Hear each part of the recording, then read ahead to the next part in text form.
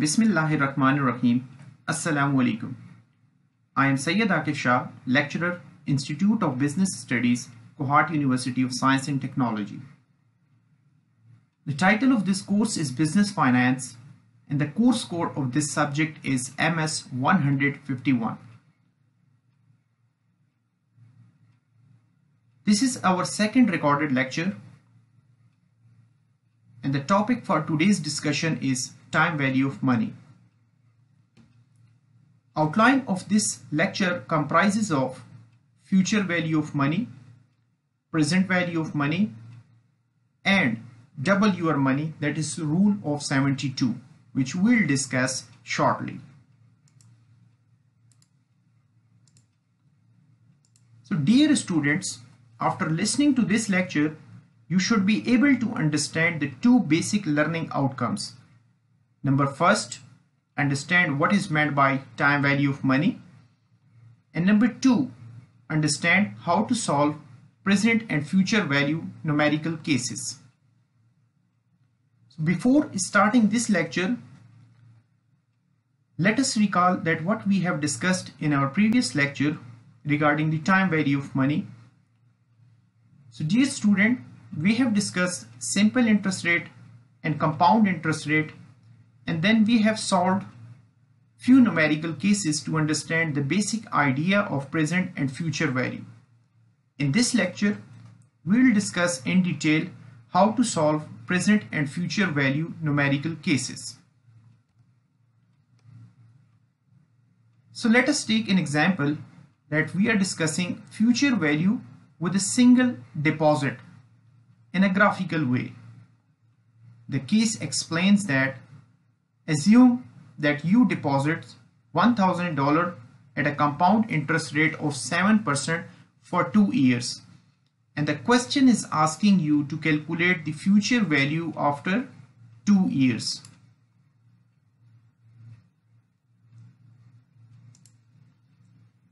So we can draw a timeline which starts with time 0 which depicts that it is our today's time and we are going to deposit our $1,000 into this investment opportunity at the rate of 7% compound interest rate.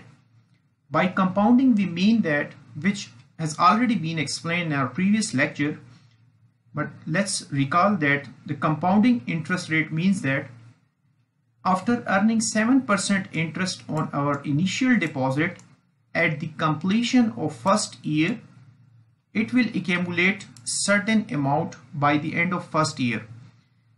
And now again this 7% will be applied on our this accumulated balance which will be 1070 by the end of first year. So we are required to calculate the future value of this deposit at the end of second year. Let's see in the next slide. How do we do that?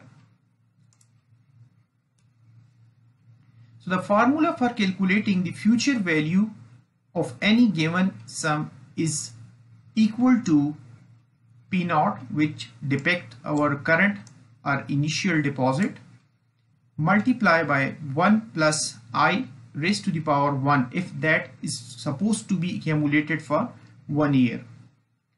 The future value at the end of first year is equal to P naught. Now what is P naught? P naught is our initial deposit which we are going to deposit in that particular investment opportunity which will be compounded by 7% interest rate. I denote interest rate so we are going to plug our given data in the previous slide which was $1,000 our initial deposit and 7% compound interest rate into this formula we come up with $1,070 future value by the end of first year.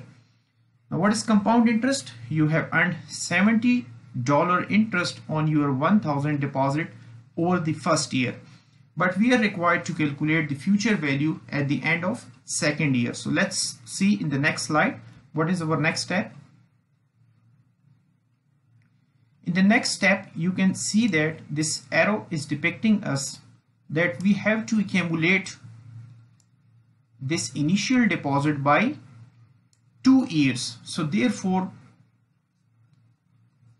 stepwise, we can look that our initial deposit was same $1,000 and we need to multiply this amount by 1.07 which is our compound interest rate multiplicative factor which has been calculated by plugging in the given data which is 1 plus i, i is 7% raised to the power 1 so 1 and 1 is the power on these bracket values. In order to remove the redundancy in mathematics we got another formula that if the bases are same we need to multiply we need to give a square to this base. If this has been written one more time that is 1 plus i then we can simply plug 3 over here. So our initial deposit was $1000 and we need to calculate the future value at the compound interest rate of 7% so the final ultimate formula with us to calculate the future value is P naught multiplied by 1 plus i raised to the power 2. So after plugging the given data in our numerical case, we come up with the future value of 1144.90.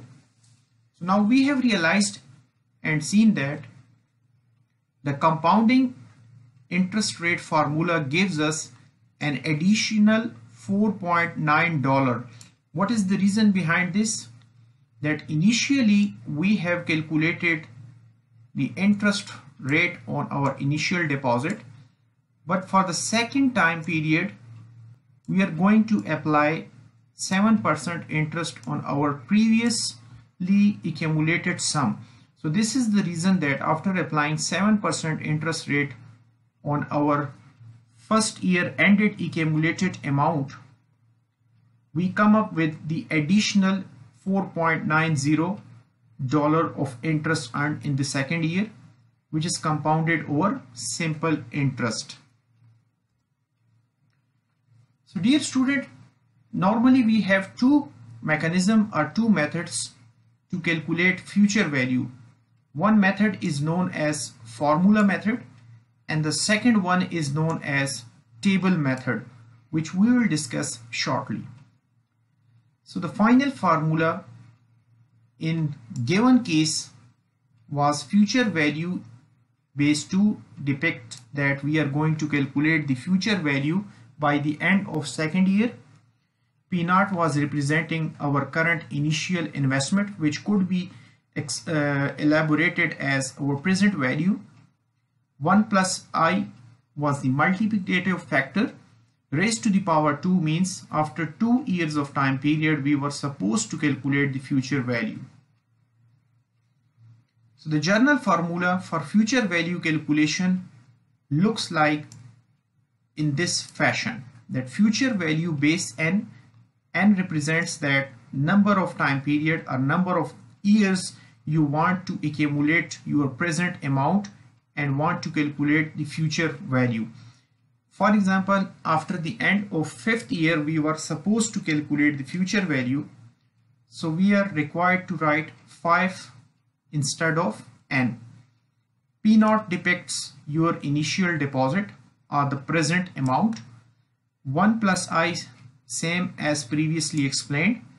Raised to the power n represents the number of years you want to accumulate your present value. If you want to calculate your present value for 5 years, so it takes normally 5 jumps on your previously accumulated balance at time at the end of first year, second year, third year, fourth year and fifth year.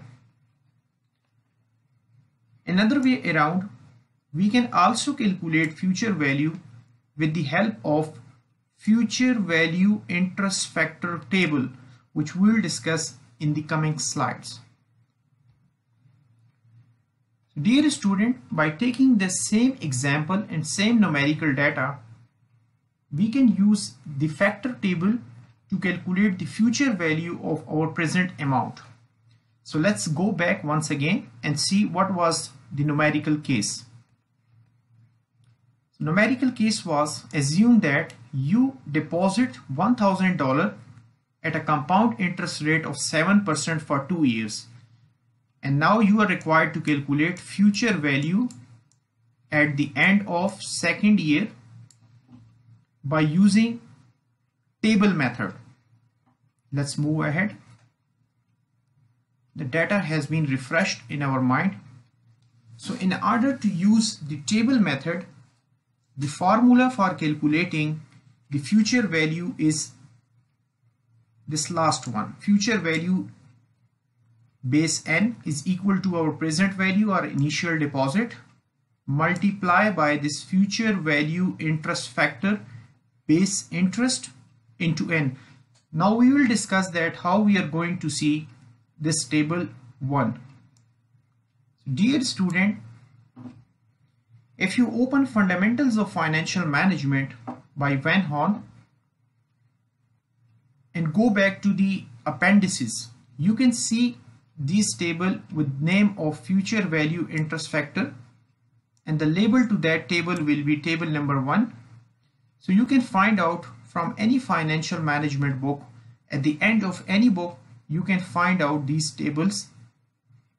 Another way around you can also find out this table by simply writing future value interest factor table in Google search out or web and you will find the table for it. In this slide, we have taken partial part of that table which is future value interest factor table. So what we are going to do is we know our data that I was 7% in our previous case and the number of years we were going to compound our present value was 2. So this is a partial future value interest factor table because we can get our required answer from this table. In this table, the first line, horizontal line, you need to find out the question provided percentage, the given percentage in the question. The question data was explaining that we are going to get 7% compound interest rate so we need to, this is table starts with 1%, 2%, 6, 3%, 4, 5, 6, so on and so forth. So we need to find out our relevant column, which is 7%. And then we need to find out this n number of years. This line depicts the number of years time period starting with one year, two year, three year, four year, five years, so on and so forth. So the given data was asking us to calculate future value at the end of second year so we need to look at the second year line so now at 7% compound interest rate and two number of time periods we need to pick our relevant interest factor table from this future value interest factor table which is 1.145 Now we need to pick out this amount or this value from this table and plug it simply in our previous slide in this formula. So let's see in our next slide how do we do that. Again the mechanism is same. We were supposed to calculate future value at the end of second year. Our initial deposit was $1,000 future value interest factor was 7% at 2 years. The factor was 1.145 which has already been written underneath for just reference purposes. After simple mathematical calculation, you need to multiply this 1000 of your initial deposit with 1.145 and you get the answer that is 1100 $45. Now the difference between this value and the previously calculated formula value is due to the rounding factor because we have rounded these calculated numerics up to three decimal places and this is the main reason that a slight deviation in the answer of future value calculated with the help of this table and as well as with the help of formula will give you a slight deviation in the answer. In our previous case, when we were using the formula, the answer was 1144.9. However, by using this tab tabulated method, we get almost similar answer. So this is the method how you can calculate future value if the data is given to you. Now dear student, let's take another example. Julie Miller wants to know how large her deposit of 10,000 today will become at a compound annual interest rate of 10% for 5 years. In order to solve the numerical cases, you need to analyze the situation and find out your required data. Now this question is asking you that how large her deposit of today will become in future, right? N over here is 5. Compound annual interest rate is 10%. So first step is to draw a timeline. 0 depicts your initial deposit which is $10,000. You are going to invest in some depository institution and it is offering you 10% compound interest rate. Now this sum will jump to an additional 10% interest rate by the end of first year and then this accumulated amount will take another jump by 10% which is the compound interest rate needs to be applied on this new accumulated amount and then once again this accumulated balance will be multiplied by 10% interest rate so on and so forth it will take five jumps and will give you a future value by the end of fifth year.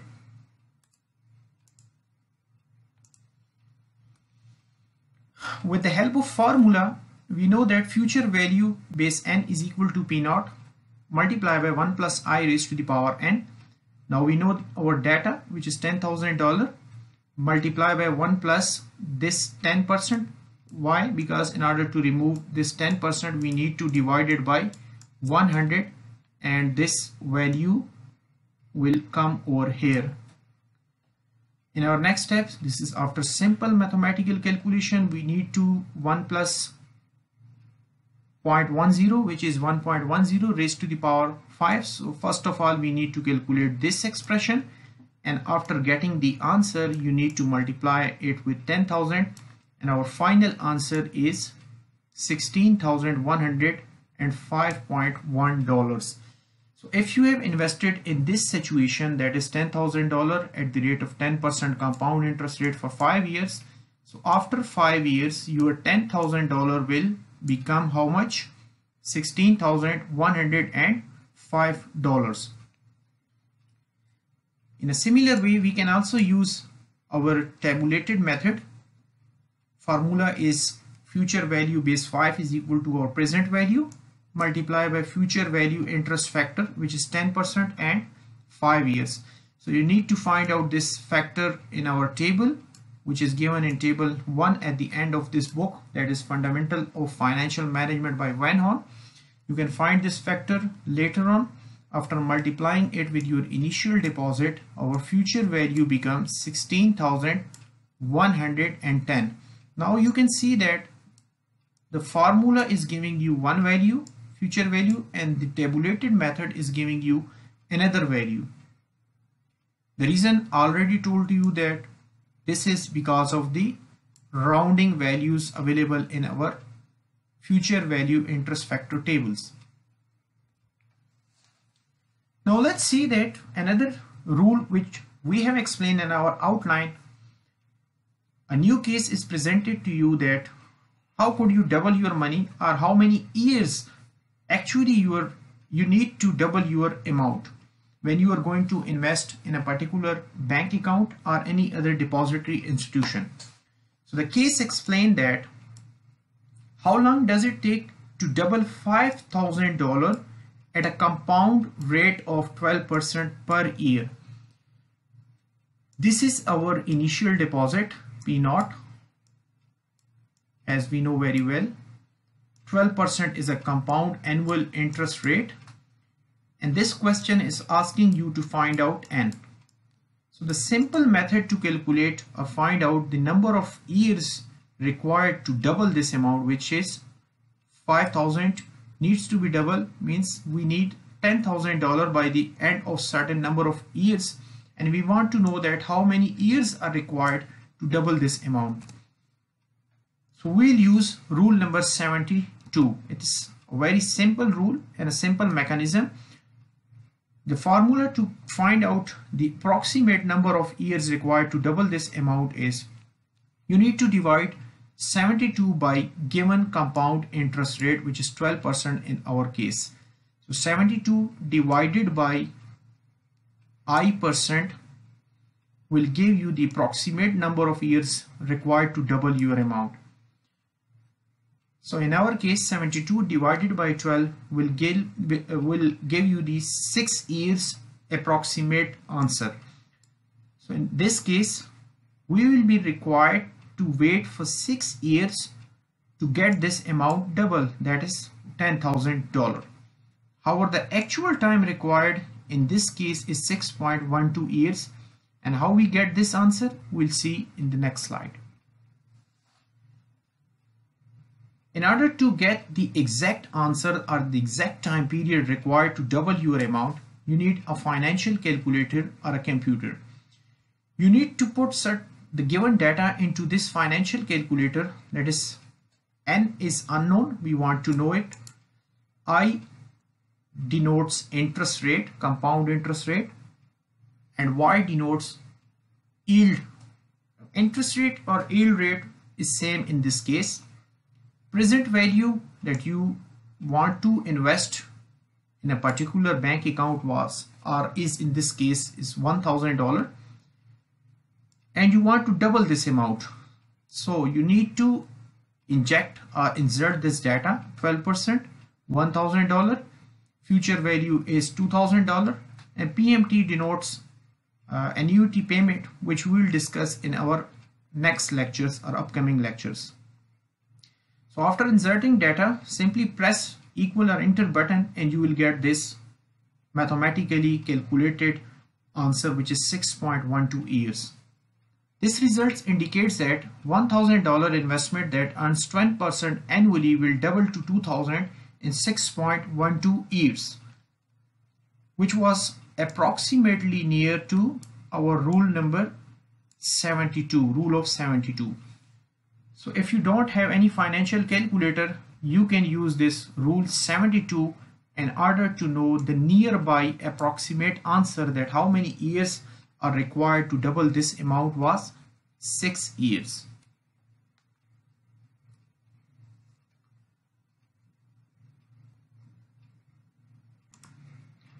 So dear student, after knowing and understanding how to calculate future value in the given case, now, now we are moving towards the calculation of present value numerical cases.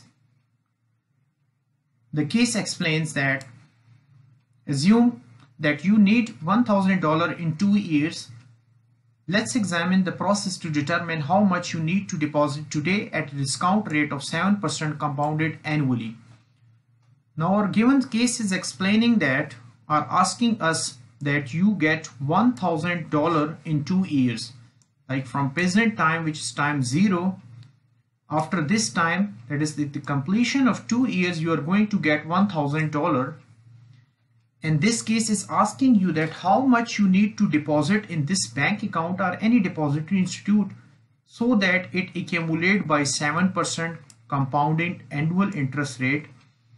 And after the end of two years you get your $1,000. So actually at the end of second year you are required to have $1,000 and you want to invest certain amount of money at time zero that is present and the bank is offering you 7% interest rate and it will automatic, automatically uh, accumulate to $1,000. So you want to know that how much amount you are required to put into this bank account. So the mechanism is same. You need to understand and learn your initial formula which was future value and the formula was future value is equal to present value into 1 plus i raised to the power n. So you need to rearrange this formula and your you get your present value formula by rearranging your future value formula.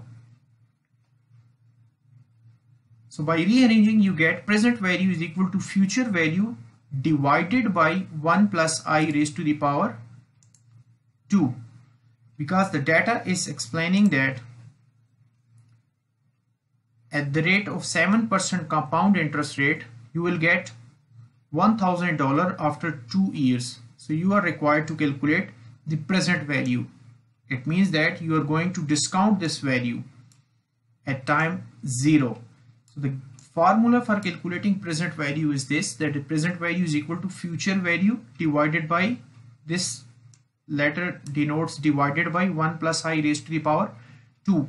So after plugging the given data you get your answer which is 873.44. So it means that you are required to deposit $873.44 in the bank account and after two years you are going to get $1,000. As in the future value calculation case, in the present value calculation scenario, we can calculate with the help of formula as well as with the help of table method. In this table method, you are again going to see at the end of the book table 2 and it will be labeled as present value interest factor table. And the general formula for calculating present value is equal to future value base n whole divided by 1 plus i raised to the power n where i denotes interest rate and n denotes number of years you are going to invest your money. This is the present value interest factor table. In our previous case, the accumulated the compound rate was 7% and the number of time period required or given were two years. So you are going to find out your required present value interest factor which is 0.873 in our case. Now this factor is going to be injected in this formula written at the end of this slide bottom of this slide next slide so by using table method you can also calculate present value the future value was $1,000 after two years and the present value interest factor at 7% and two years as per this table is 0.873. You are going to put this factor into this these small brackets and after simple mathematics multiplication you get your present value which is 873. In the previous formula case once again the answer was 873.44 and here by using the table method the answer is 873 which is almost same. The slight difference is because of the rounding because we have rounded these values in the given table up to three decimal places we are going to take another story problem to calculate present value that is Julie Miller wants to know how large of deposit to make so that the money will grow to $10,000 in five years at a discount rate of 10%. Here the compound interest rate that is discount rate is 10% and you want to accumulate your amount to $10,000 by the end of fifth year.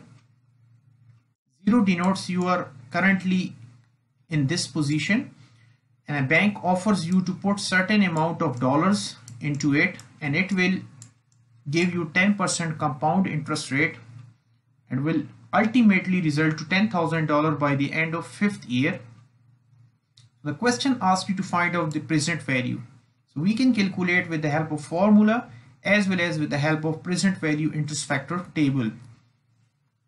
So by using the formula, you need to plug in the given data in our numerical case, which is $10,000 our future value. 10% was the discount rate 1 plus 0.10 raised to the power 5 because number of time period in this case was 5 years. The present value with the help of formula is 6209.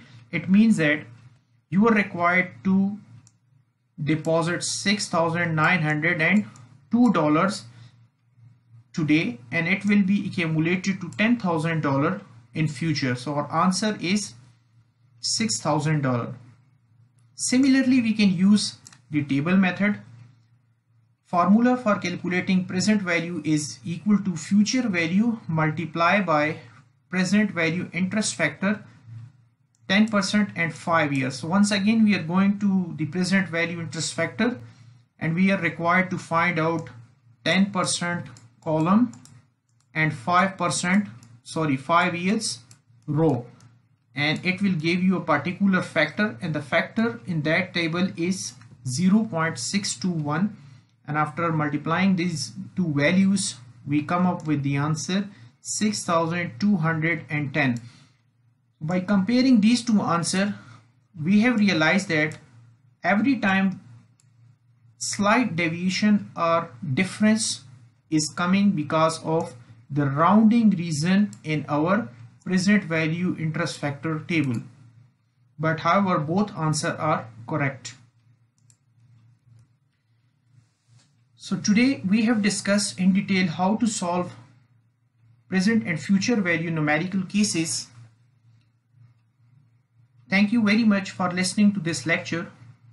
If you have any question regarding present and future value numerical cases calculation, then feel free to paste, post your feel free to post your queries on KCMS and I'll be happy to answer your questions. Thank you very much once again. Good luck for the day. Allah Hafiz.